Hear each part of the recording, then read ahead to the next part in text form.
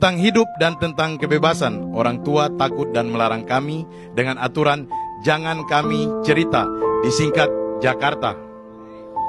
Namun kami harus tetap bercerita karena kami pasti punya alasan, disingkat Papua. Elegan seperti mamruk, beda seperti kuskus, kokoh seperti kasuari, mahal seperti cendrawasi. Merekalah anak muda di jalan tua. Izin para penduduk kursi mama kota. Ada fenomena yang ingin saya cerita. Tapi sebelumnya bakar dulu pelita. Kampu hati harus terang sebelum tampung berita tentang derita. Mari gunakanlah cinta, ya benar kita. Seorang ibu mengadopsi anak dari Pasifik Melanesia.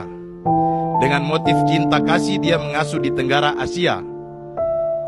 Anak ini pun harapkan hidup yang tidak sia-sia layaknya manusia. Di atas tanah miliknya berisi logam mulia.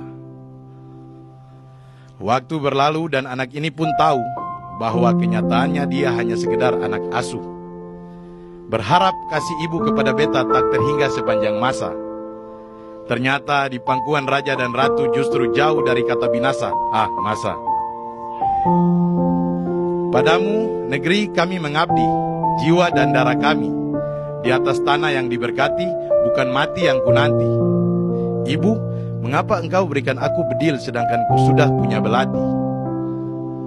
Laut berisi ikan segar dijaring untuk membeli kaleng berisi ikan. Panen kasbi dari kebun untuk keripik singkong dalam kemasan.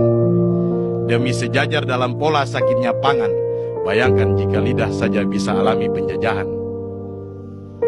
Ibu, aku butuh sehat.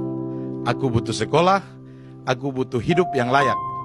Tapi mulut ini kau bungkam, kepalaku kau injak. Sejarah asalku kau hapus, mentalku kau rusak.